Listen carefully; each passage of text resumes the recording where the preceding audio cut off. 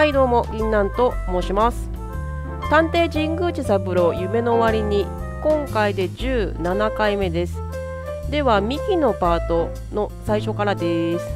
ミキ姉ゆかが行方不明になり警察神宮寺事務所へ連絡。以前ゆかが見つめていた謎のメモを神宮寺が発見した。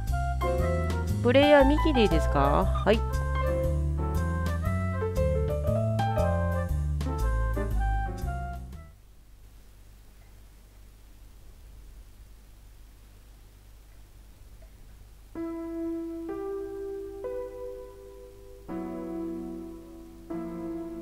放り出されたまま。昨日もその前の日も。お姉ちゃん。お姉ちゃん。どうして黙っていなくなっちゃったの？どうして？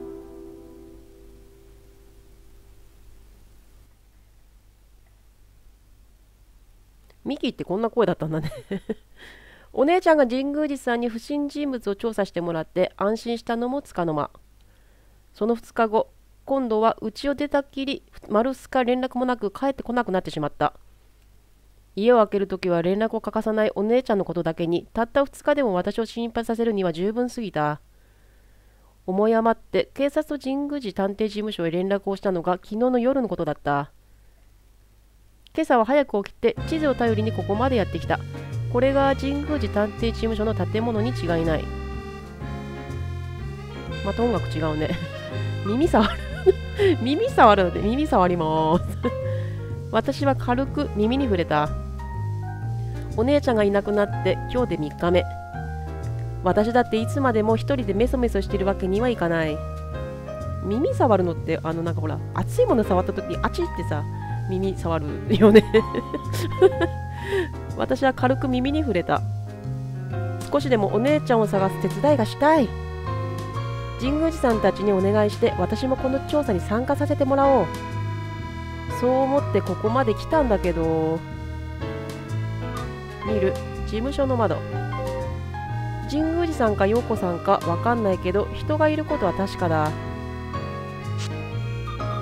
移動。中に入ります。私は意を決して神宮寺探偵事務所へと向かった。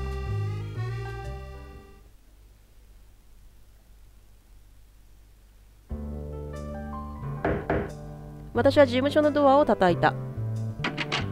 こんにちは。話す陽子あらミキちゃんどうしたの？ゆかのことで何かあったの？連絡取れた？いえ全然。そう。実はそのことでお願いがあるんですけど。何？遠慮しないで言って。はい。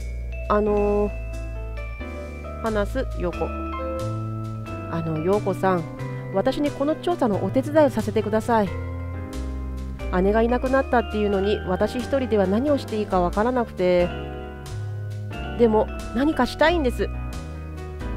何かしていないと落ち着かないし私時間ならあるしあのそれにちょちょっと待ってよみきちゃん。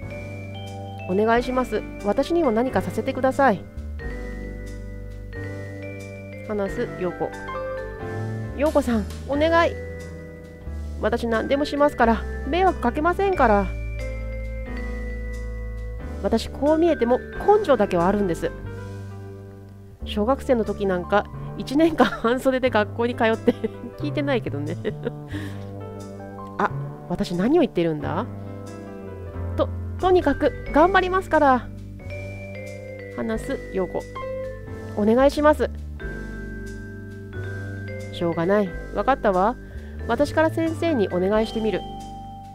その代わり勝手な行動は取らないこと。危ない真似はしないこと。あなたが言うのそれを。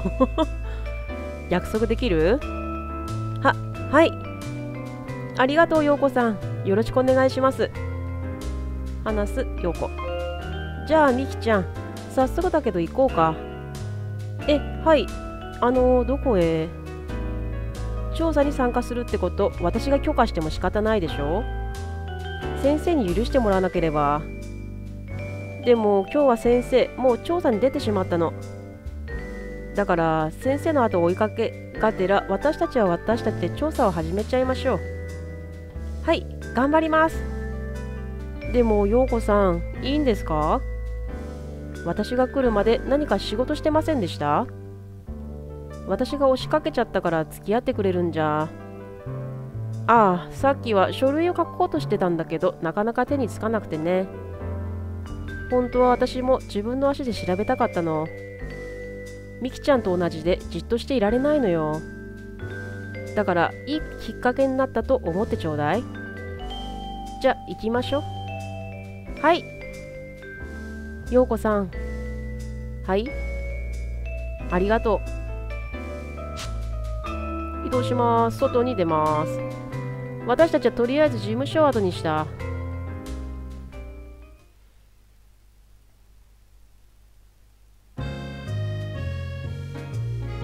私たちは事務所を出た。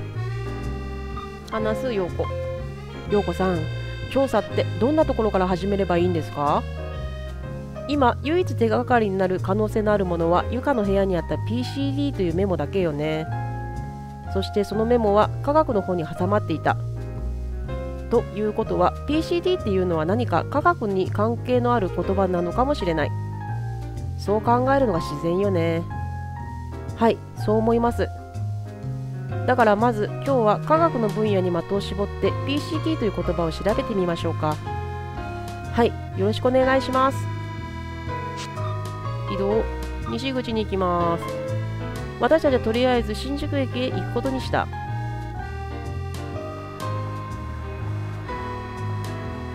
新宿西口は雑然とした東口とは対照的に直線的で整然としている。移動文英大学周辺に行きます。私たちはお姉ちゃんの大学の方へ行ってみることにした。ここから文英大学が見える。ミニが見えるね。移動。文英大学正門前。私たちは正門の方へ向かった。文英大学の正門だ。ここで何か手がかりが見つかるだろうか。移動中に入ります。私たちはお姉ちゃんの勤める大学で調べ物をすることにした。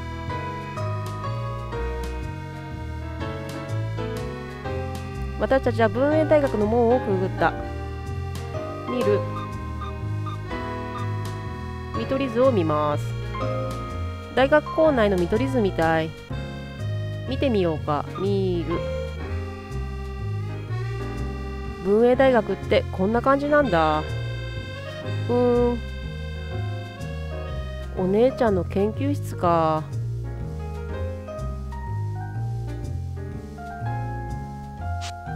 移動します。図書館。私たちは図書館の建物へと向かった。活気のある大学の中でも図書館はさすがに静かだ。見る。周辺広い図書館だ。ちょっとした調べ物ならここでできちゃうんだろうな。と不意に机奥の机で調べ物をしていた人が顔を上げ私たちを見て片手を上げた。神宮寺さん。話す神宮寺。神宮寺さんあのミキどうしたんだい？あのえっと実はええ実は先生にお願いがありまして。お願い？はい。今回の事件の調査ミキちゃんも加えていただきたいのです。ミキも？話す神宮寺。神宮寺さんお願いです。私役に立たないかもしれないけれどこのままじっとしているなんてできないんです。私お姉ちゃんのことがお姉ちゃんが話す神宮寺。まあいいだろう。ユカの失踪は今のところ全く手がかりがない状態だ。第三者の悪意があっての失踪ということも考えられるしその悪意が君たちに向かわんとも限らない。ミキが調査に加わることは認めよう。ただし陽子君と常に一緒に行動することが条件だ。はい神宮寺さんありがとうございます。こんなこと言ったら怒られるかと思っていたけど意外にあっさり許してくれたので拍子抜けした。陽子さんと一緒にいろなんて私にとっては逆にありがたいことだ。あのすみません。これマスでこれマス話が途切れると誰かが神宮寺さんに声をかけた。神宮寺さんは呼ばれるまま本棚の方へ踏み出した。見る神宮寺たち。私と陽子さんは黙って並んで神宮寺さんたちの方を見た。この辺の話は多分陽子と同じだろうね。と2人の低い話し声が聞こえてきた。あなたは？ええすみません。突然私増田と言います。今お話しされてたのもしかして永田由香のことですか？見る神宮寺たち。あなた永田さんをご存知で？はい私由香と同じ研究室なんです。ここ数日由香が無断で学校を休んでいるので心配してたんですがあの由香に何かあったんですか？教えてください。由香が連絡もしないなんて普段じゃ考えられないことなんです。実は永田由香さんは3日前から行方不明なんです。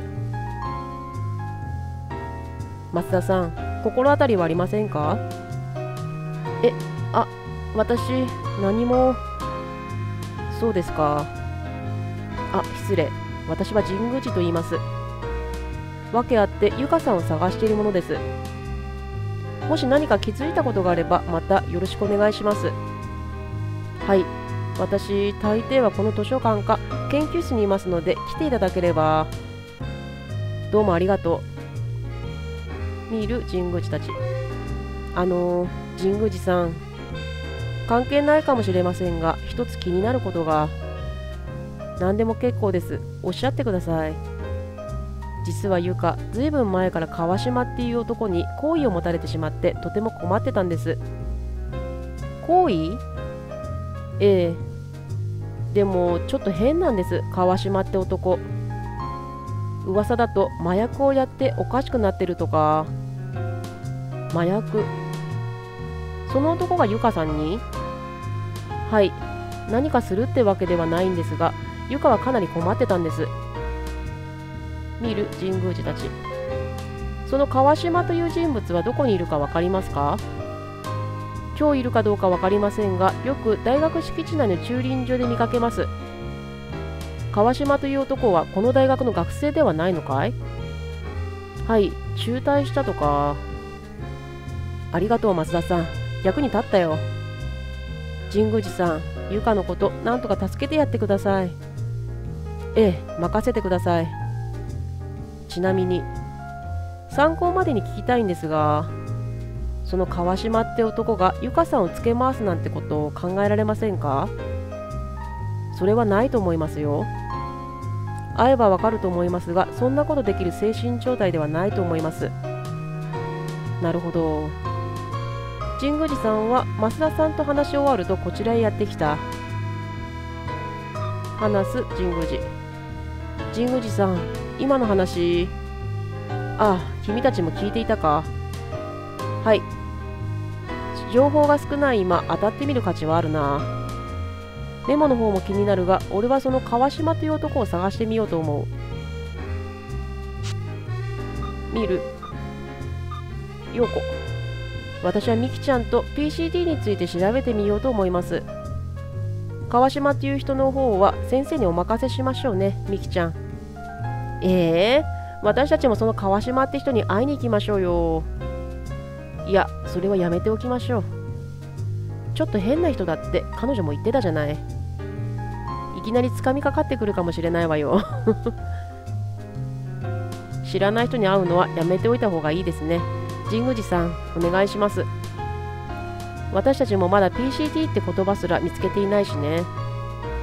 ああ、俺もさっき少し調べてみたが何も見つけることはできなかった。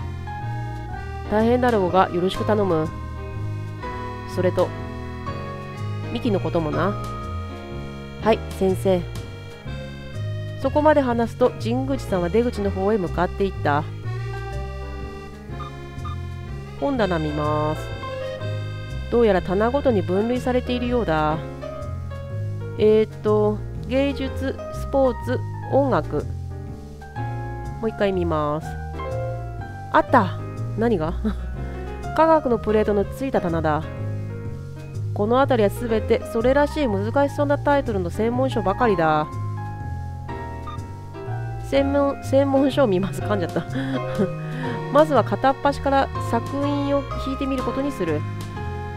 P、P と PCB、PCR、PCT ない。PCT という言葉はない。もう一回見ます。念のため内容にも目を通しておくことにした。もう一回見ます。難しい本だ。見ているだけで何とも言えずよく眠れそうだ。見ます。う。ううう一冊読んだだけで頭が痛くなった。いいんだいいんだ。どうせ私の受験には科学は関係ないんだから。結局この本では PCD という言葉は見つからなかった。見ます。負けずに次の本。元素同士が結びつき安定した状態の最小構成単位が分子か。一酸化炭素は CO 水酸化ナトリウムは NaOH 塩。つまり塩化ナトリウムは NaCI か。うーん。こんな言葉いつ使うのかな？ここには PCT って言葉はないみたい。頭痛が起こる前に見つかるといいけど。見ます。この本のタイトルは元素か。えー、っとすべての物質を構成する103種類の元素。周期表と呼ばれるものによってそれらは分類されている。うんこの辺りは聞いたことがあるぞ。水素、ヘリウム、リチウム、ベリリウム、酵素、炭素、窒素、酸素、フッ素、ネオン。H、HE、LI、BE、B、C、N、F、NE これぐらいなら私にもわかる。でも PCT という元素があるわけではなかった。見ます。次の本。メンデル。お聞いたことがある。メンデル。スゾーン。ん？あれ？何この本？やだ。隣のジャンルの音楽誌の本だった。貴重な時間がもったいない。そもそもメンデルの法則だって生物じゃなかったっけ？本当に私しょぼー耳触ります。私は軽く耳に触れた。うーんどこにもない。くじけそうだよ。ねえみきちゃん。これ見て。やはり科学専門書にかじりついていた陽子さんが本から目を上げずに私を読んだ。話す陽子ちょっとこの本見て。陽子さんは一冊の本を差し出した。ほらこれ。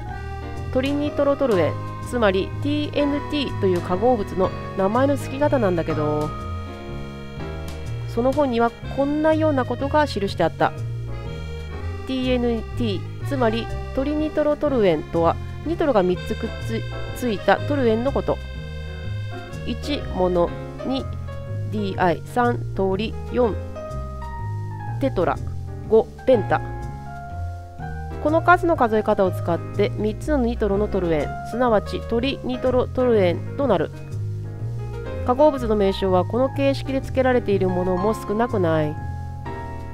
P という文字が出てきたからちょっと気になったんだけど。もし PCD という言葉がこの形式でついた名称なら PCD の P はペンタ。5ってことになる。ふーん確かにそうですね。話す横。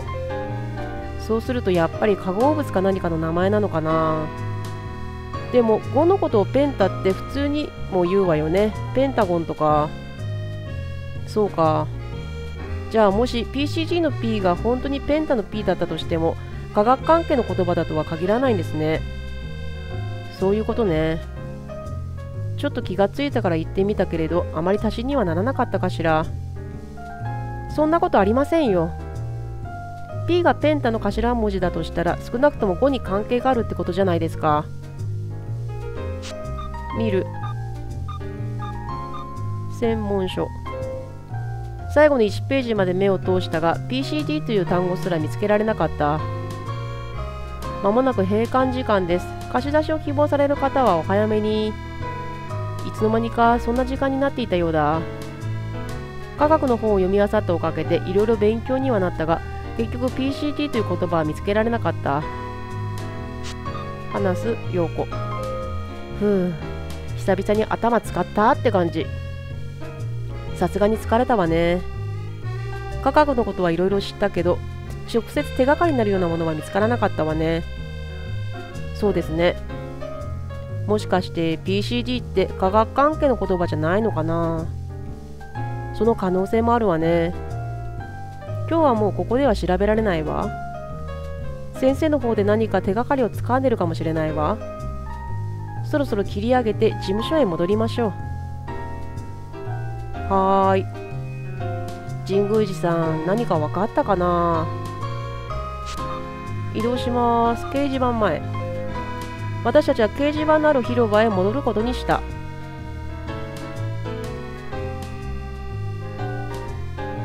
私たちは掲示板の前に戻ってきた。移動。大学を出ます。私たちはこの大学を出ることにした。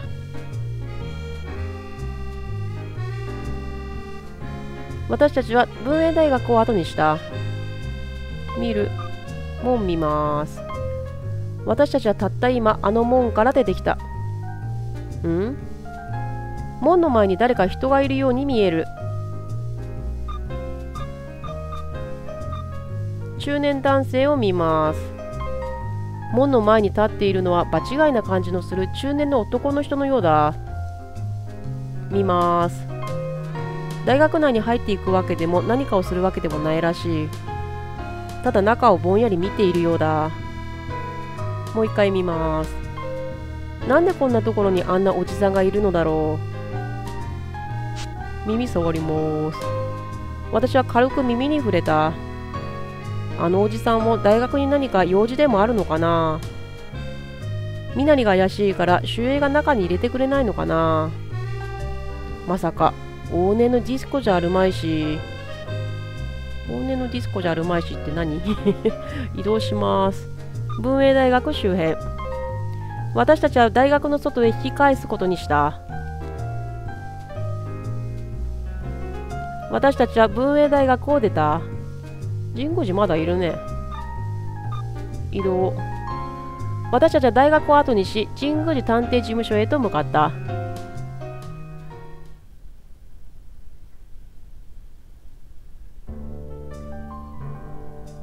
あ移動飛ばしてくれたっぽいこれ。すっかり夜になったけれど神宮寺さんはまだ帰ってきていない。何かつかめたんだろうか。耳触ります。私は軽く耳に触れた。神宮寺さんは図書館で増田さんという人の言っていた川島という男を調べに行ったはずだ。私たちの方はこれといった成果を上げられなかったけれど神宮寺さんの方では何か分かっただろうか。もう一回耳触ります。私は軽く耳に触れた。神宮寺さんが図書館を出て行ってからもう数時間経つ経つの字違うねこれね。そろそろ。あ神宮寺さんが帰ってきた。おかえりなさい先生。あただいま。話す。神宮寺。おかえりなさい神宮寺さん。お疲れ様でした。あミキただいま。話す神宮寺。どうだ？疲れただろう？うんうんそんなことありません。まだ私元気です。話す神宮寺。神宮寺さん調査はどうだったんですか？何か手がかりはありましたか？いやこっちは大したものはつかめなかったよ。そうですか。あの図書館であった増田さんが話していたああ川島か。とりあえず会うことには会えたよ。だが話にならなかったんだ。話にならない？ああ。会話にならないんだ。ひどく精神状態が不安定だった。あれは何かやばいものに手を出しているな。と言ってもシンナやトルエンのような可愛いもんじゃない。あれは増田の言った通り何か麻薬をやっているな。昼間の大学校内で麻薬ですか。尋常じゃないですね。ああ。少なくとも麻薬に手を出すヤバい男であることは確かなようだ。でも川島という人がユカの失踪に関わっているかは分かりませんよね。ユカに言い寄っていたという増田の話だけではまだ何とも言えんな。見る。神宮寺。ところでそっちはどうだった？何がつかめたか？ええそれが陽子さんは図書館の本では PCD という言葉が見つからなかったことを手短に説明した。ただ類似した言葉なら PCB とか TCD とかいろいろありました。やはり化学薬品の名前なんだろうか。ユカが科学の研究室にいたことを考えるとその考えが自然だと思います。でもその科学の本に PCD という言葉はどこにも載っていないんです。うむ。ユカが研究していた新しい化学物質。ということはいや俺はあの後ある女性と出会ったんだ。彼女はユカの研究室の助教授だったんだがその彼女も PCT については何も知らなかった。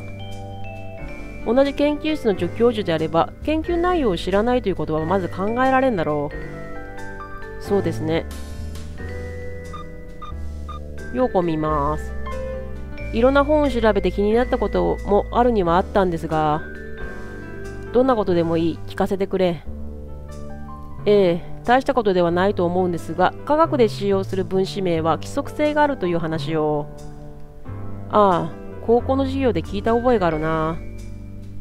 その規則性が数字にも当てはまるんです。1はもの2は DI3 は鳥順順に TETRAPENTAHEXA と表します。なんて読むんだろうな、これ。それらの数字と分子の名称を組み合わせて化合物の名前を決めるそうです。というと、例えば、硝酸菌のことをニトロと言います。硝酸基すなわちニトロが3つくっついたトルエンのことをトリニトロトルエンと言いそれを略し TNT と言うんです。それってダイナマイトなどの原料になる TNT 火薬の TNT かい？はいそうです。じゃあ PCD の P は数字である可能性が考えられるな。さあ話す。神宮寺。何か参考になりますか？うむ。PCD が化学化合物だとしてもそれがどういうかと関わってくるのか。PCD に関しては俺は明日ヨドバシ署の方で聞いてみることにするよ。ああ鑑識可能ああ彼女の優秀な頭脳ならば何かヒントを与えてくれるくれるかもしれない。耳触ります。私は軽く耳に触れた。報告も終わったし私はそろそろ帰ってもいいのかな？話す神宮寺。あの神宮寺さん。私明日もまたお邪魔していいでしょうか？ああもちろん。だが約束は覚えてるな？はい。常に陽子さんと一緒に行動するようにします。神宮寺さんありがとうございます。ああ今日はもう遅いからそろそろ帰りなさいはいじゃあ移動しまーす。外に出まーす。ようこさん、今日は私のお守り、どうもありがとうございました。それじゃあ失礼します。おやすみ。気をつけてね。また明日。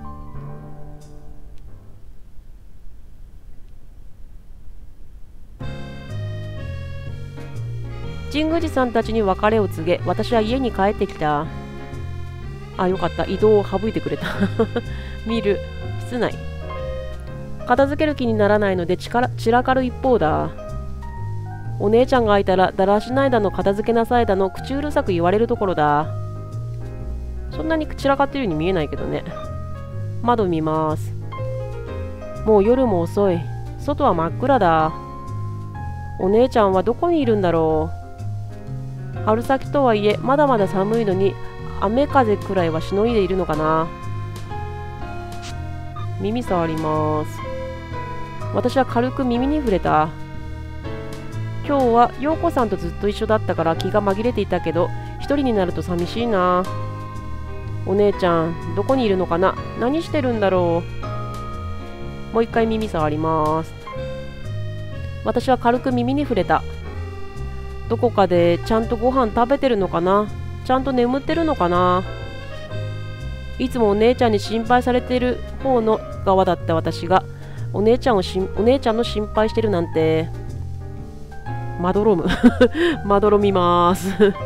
お姉ちゃんが帰ってきたら怒ったりせず優しく迎えよう。心配する側の気持ちが分かって私きっと今までよりいい妹になれる。きっとお姉ちゃん驚くだろうな。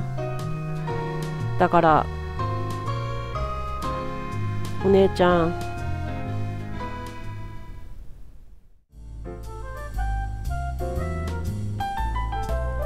ミキ神宮寺たちに許可を得て調査に参加することになる。陽子と2人で大学調査するが手がかりはなかった。プレイヤーミキでいいですか？はい。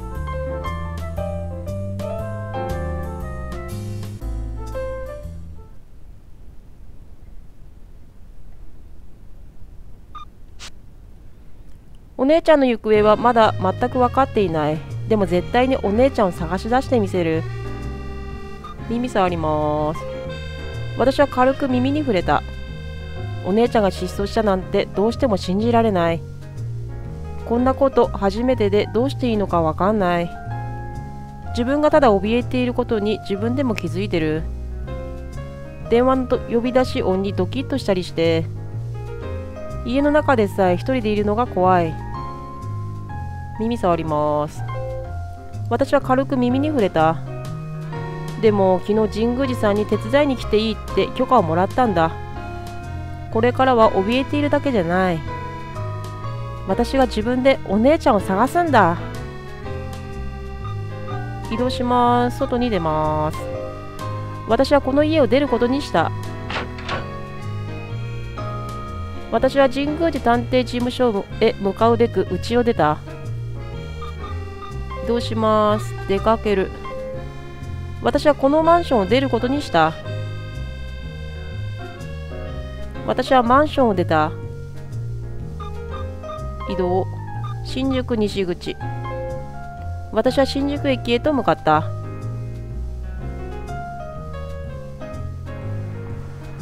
新宿西口は雑然とした東口とは対照的に直線的なで整然としている。こいつも同じこと言うよね。移動。神宮寺事務所。私は神宮寺事務所へ向かうことにした。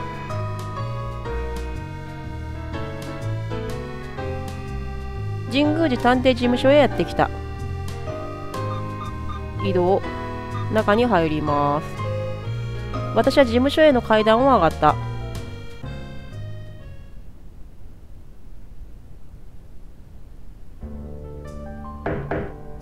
こんにちは。あ、みきちゃん、いらっしゃい。話す、ようこ。今日は何かお手伝いすることあります？あのね、みきちゃん。今日は先生が大学の方へ聞き込みに行ってるの。今は他に動きようもないから今日は私留守番ってことになっちゃったのよ。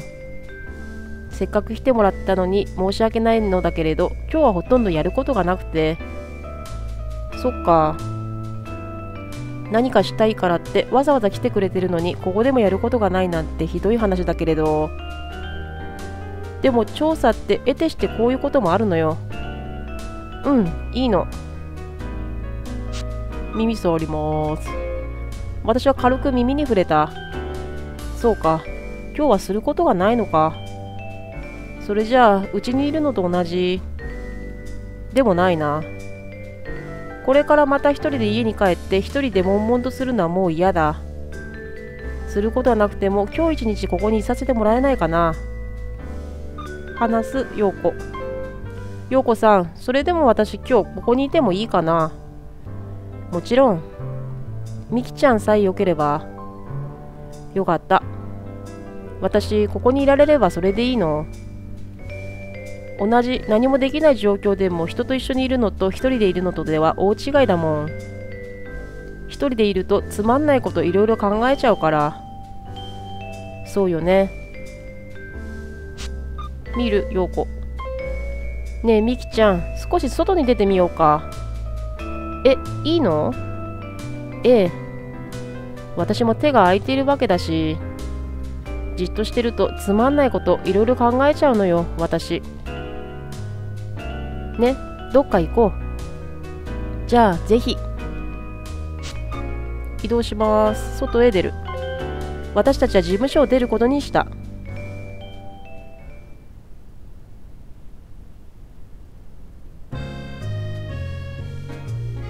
私たちは事務所を出た。移動。西口に行きます。私たちはとりあえず新宿駅へ行くことにした。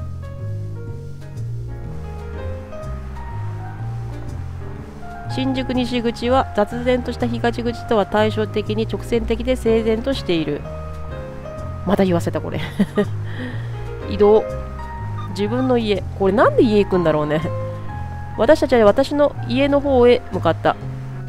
私たちは私の。うん。ここが私たちの住んでるマンションだ。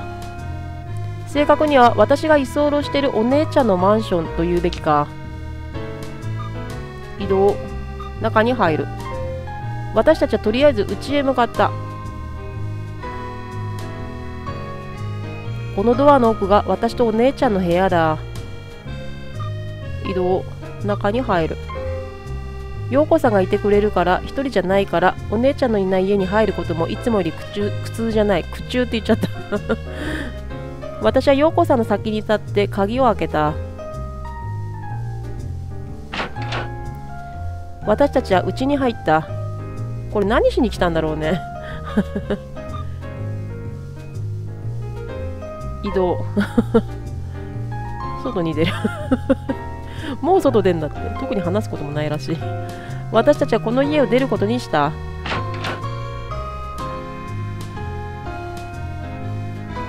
私は陽子さんと一緒に家を出た。なんかフラグのためにねこの移動してるんだけど。よくわかんない。出かける。私たちはこのマンションを出ることにした。何しに行ったんだろうねこの家にね。私たちはマンションを出た。移動。また西口に行きます。私たちは新宿駅へと向かった。新宿西口は雑然とした東口とは対照的に直線的で整然としている。別の言葉を入れてほしいここ。移動。駒劇場前に行きます。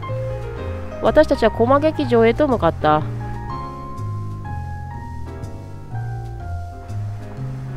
ここは駒劇場前だ。移動。また西口に行きます。私たちは新宿駅の方へ行くことにした。ここまで陽子と一回も話してない。新宿西口は雑然とした東口とは対照的に直線的で整然としている。ここでやっと陽子と話します。話す陽子。そろそろ帰りましょうか。ずっと無言で歩きまくってたからね。先生もいつ戻ってくるかわからないし。一緒に事務所で先生を待ちましょう。はい。もういい時間ですもんね。移動。神宮寺事務所。私たちは事務所へ戻ることにした。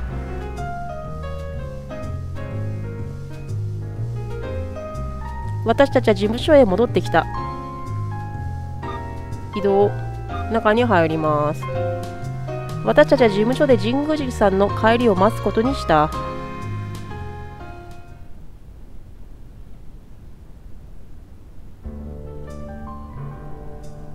事務所に着いてから数時間経った。神宮寺さんはまだだろうか？うんと話す陽子コーヒー入れるからラジオでも聞いて待ってて。あはいすみません。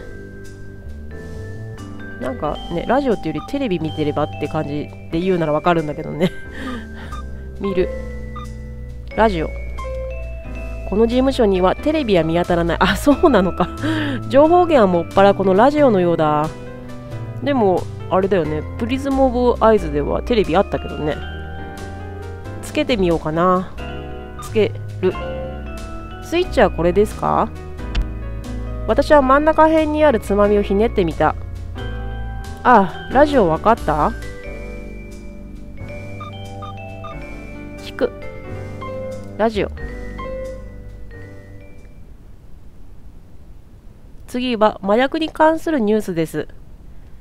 本日新種の麻薬が発見されたと警視庁の発表がありました。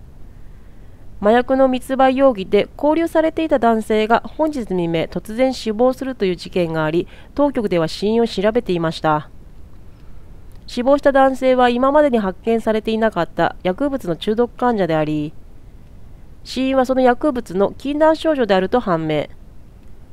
警視庁はこの新種の麻薬を構造上の特徴から PCD と呼称すると発表しました。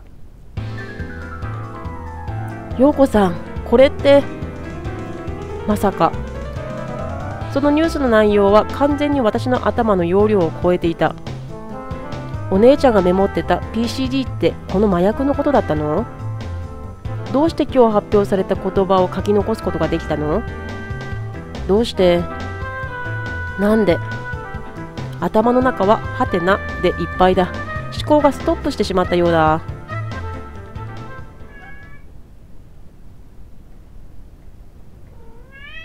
気づかないうちに時間が経っていたらしい。不意に事務所のドアが開き人が入ってきた。ただいま。あ先生おかえりなさい。話す神宮寺。私が口を開くより一瞬早く神宮寺さんが言い出した。ミキニュースを聞いたかい？はい。そうか。だったら話は早い。俺もそのニュースを聞いた後クマさんに確認の電話をしたんだ。その話からすると俺たちが調査している PCT との関連が高いと判断できる。これからどう動きます？まずは検討だ。そこから次の一手を考えよう。考えてる。話す神宮寺。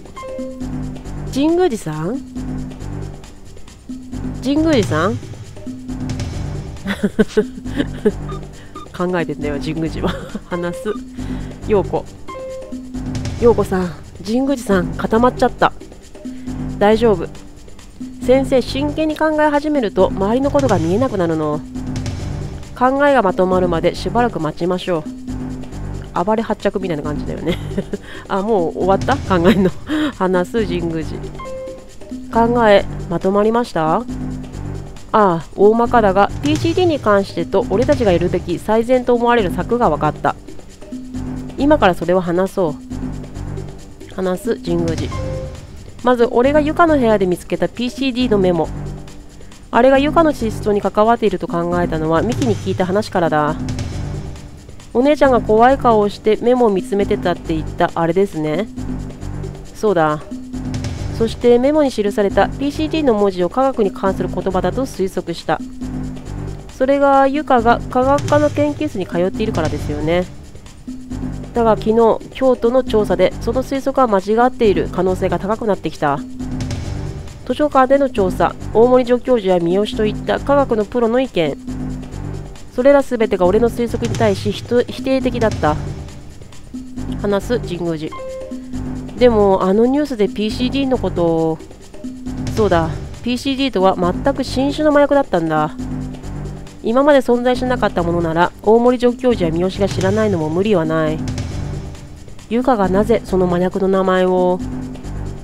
現時点でははっきりしたことは言えんがだがユカの失踪にその麻薬が関わっている可能性は高いと言えるだろう。そんなお姉ちゃんがなぜ話す神宮寺。クマさんの話だと明日には三好に話を聞けるそうだ。俺は明日朝一番でヨドバ署に行ってくる。はい。神宮寺さん私も連れてってください。ダメだ。麻薬に関すると分かった以上深入りするのは危険だ。以前言ったように犯人の目的がわからない以上ユカの妹である君は安全な場所に行ってもらう。でも約束したはずだ。危険なことは絶対にしないと。わかりました。見る神宮寺。いつも鋭い目が一層鋭さを増してなんだか怖いようだ。普段ポーカーフェイスな神宮寺さんだけどこれは私にも分かった。この事件を必ず解決してやる。その決意の表れだと思う。話す神宮寺。今夜はもう遅い。ここはもういいから家に帰りなさい。はい。それと陽子くん少し遠回りになるがみきちゃんを家まで送ってやってくれないか？はい。いいです。一人で帰れます。ダメだ。はい。わかりました。みきちゃんじゃあちょっと待っててね。すぐ支度するから。はい。それから私は陽子さんと事務所を後にした。神宮寺さんのあの厳しい態度。私のことを心配してくれるからだということは十分に分かっていた。でもそう心配するほどこの事件には危険が潜んでいるのだ。私にはそう感じ取ることができた。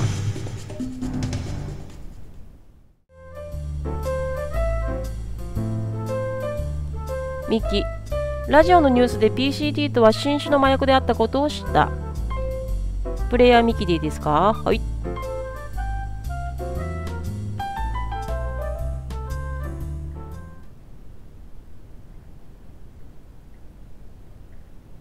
お姉ちゃんがいなくなってもう4日が過ぎた。それなのに何の連絡も手がかりもない。変わらない不安とやり場のない苛立ちで私は精神的に追い詰められていた。移動。姉の部屋。今の私はただ途方に暮れている。そんな十分に腹も立たなかった。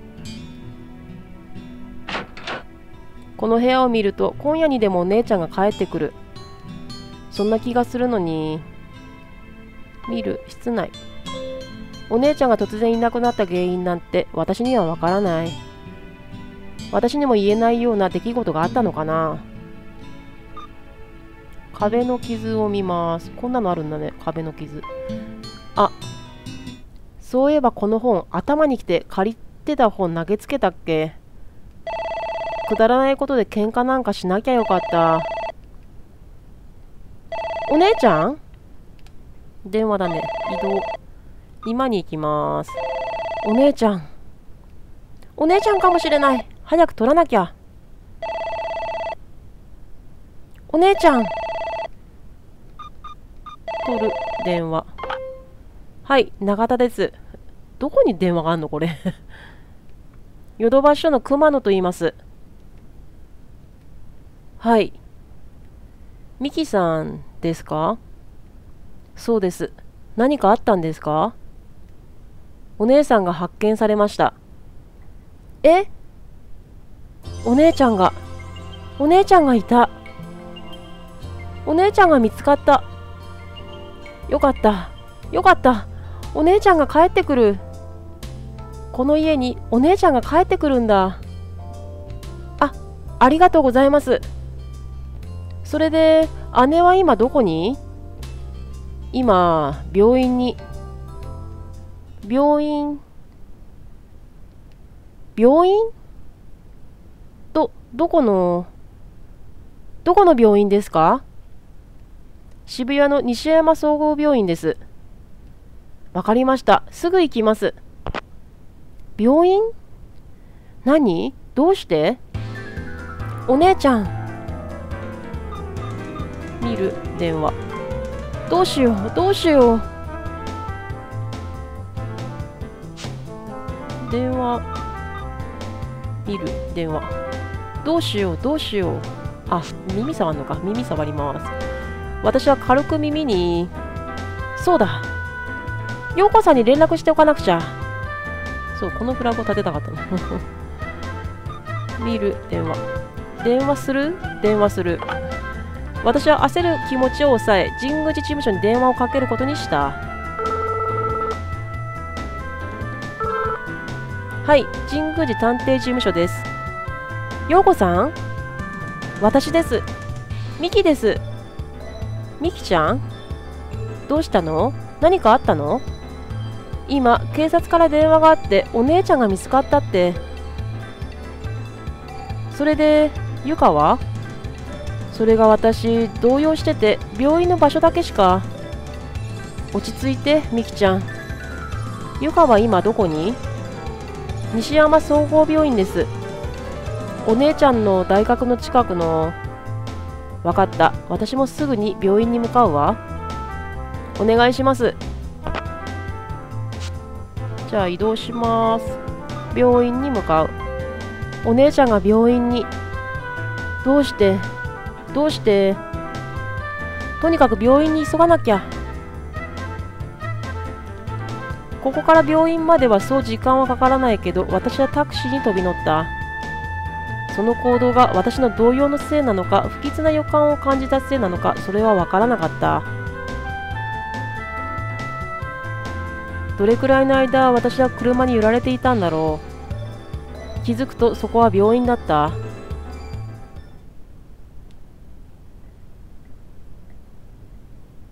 永田美希さんだね。見覚えのある中年男性が私に話しかけてきた。この人そうだ以前家に来た刑事さん。話す熊野。刑事さん何が？姉の身に一体何があったんですか？見るクマさん。どうしたの？なぜなぜそんなに言いづらそうにしているの？話すクマさん。刑事さん話してください。姉の身に何があったんですか？わかった。だが君には辛い話だ。構いません。詳しいことはまだ調査中だが君のお姉さんは無理心中を図ったらしい。無理心中？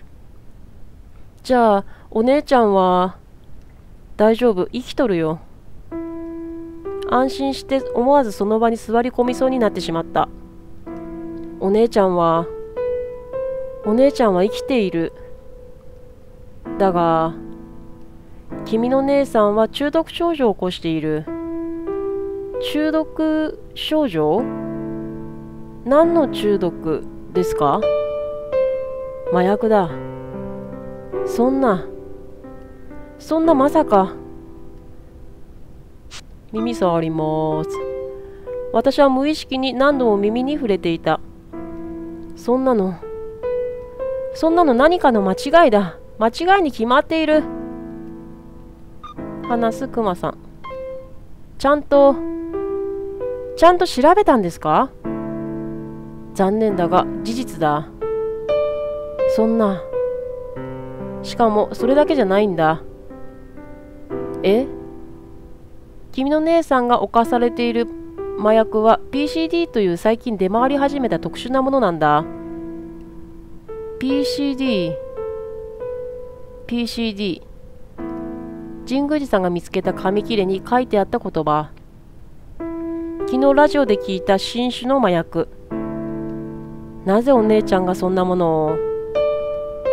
投与を途中でやめても投与し続けてもいずれにせよ死が確実な死が訪れる。ただ助かる方法はある。投与する麻薬の量を少しずつ減らしていくことだ。そうすればやめさせることはできるのだが何か問題が？やっと発した私の声は絶望に震えていた。投与を続けられるだけの麻薬がないんだ。現段階では同様のものを作り出すことすらできない。つまりこの麻薬を作った人間を直接見つけ出すしか方法がないんだ。だったらだったら見つけてください。作った人を見つけてください。夢中で叫んだ私を見て刑事さんは無言でうなずいた。何かあったら遠慮なくここに連絡して。野田さんは私自分の名刺をそっと私に手渡してくれた。いつでも連絡が取れるように自宅の住所まで書き込んである。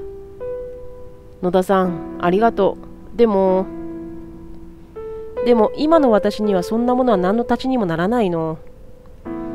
私は野田さんの名刺を無造作に手帳の中にしまい込んでいた。移動病室。お姉ちゃん。お姉ちゃん。お姉ちゃんが麻薬中毒なんて嘘だ。嘘だ嘘だ嘘だ。移動病室。お姉ちゃんは死んだりしない。絶対に。絶対に死んだりしない。ミキは何回も同じこと言うねこれね。ドアを開けた瞬間私は気がついてしまった。押し殺していた不安と恐怖が一気に私を襲った。この場所がひどく寒いところに感じられた。得体の知れない恐怖。それはまるで映画のワンシーンのように。お姉ちゃん見る？ゆか。お姉ちゃん。眠ってるの？私のことわかるの？話すゆか。お姉ちゃん聞こえる？ミキだよ。お姉ちゃん見る？ゆか。なんで？なんでお姉ちゃんがこんなことに？なんで？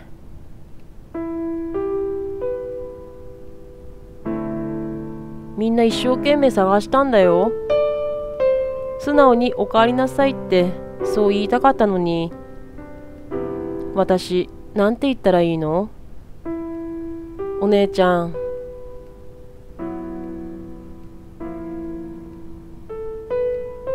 どのくらいの時間が過ぎたのだろう？私誰かいる？みきちゃん。陽子さんの声来てくれたんだ。でもでもごめんね。陽子さん今は私聞いてみきちゃん。